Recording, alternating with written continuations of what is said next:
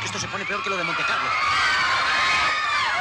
¡Quietos, muchachos! ¡Esto es lo publicitario! ¡Esto es la guerra!